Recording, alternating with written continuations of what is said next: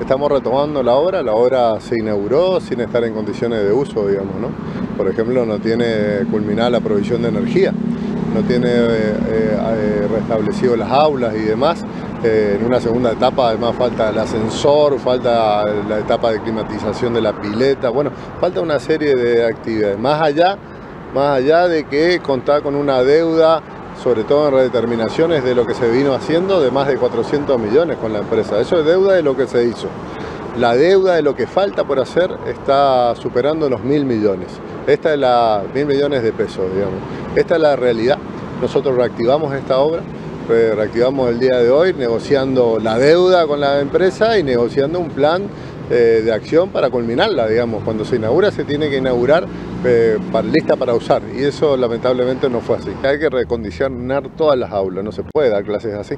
Eh, y, esto, y esto, bueno, es la misma empresa que, por ejemplo, hoy culminó la guardia del Hospital Perrando, la que tiene asignado esto. Y bueno, nosotros como prioridad encontramos una obra parada, por ejemplo, la guardia del Hospital Perrando, donde es algo urgente todos los días, también con deudas, también con necesidad de reactivar. Hoy terminamos esa y estamos iniciando esto. Estamos uno a uno en función a lo que recibimos. Recibimos obras paradas y obras con deuda, digamos, incluso inauguradas sin estar en condiciones como esta. En esta primera etapa, un mes y medio, 45 días, vamos a estar culminando, que es lo que ya acordamos con la empresa.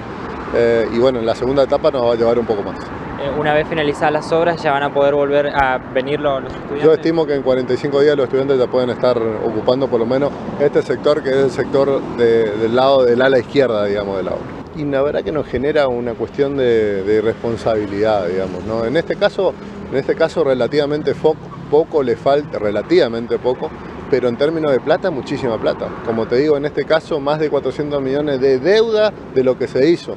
Y para culminar, más de mil millones, digamos. Eh, la verdad que la verdad que una irresponsabilidad de cómo se encaró el proceso de obra en la provincia del Chaco, no pagando nunca, por ejemplo, redeterminaciones de precio. Esto quiere decir que se acumula con todo lo que se hizo muchísima deuda y esto hace realmente muy compleja la situación. La prioridad que nos pidió el gobernador Esdero es culminar hospitales que están sin terminar. Eh, donde a muchos les falta bastante.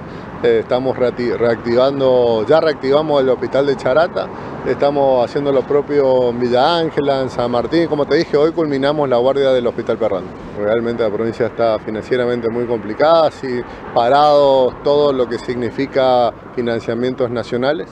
Eh, detenido también los que venía con bancos multilaterales como CAF, Plata, VIP. o sea que estamos a, activando con rentas generales, pero para activar, como te digo, las empresas necesitan que de alguna manera hagamos un plan de acción para el pago de semejante cantidad de, de plata que se le debe.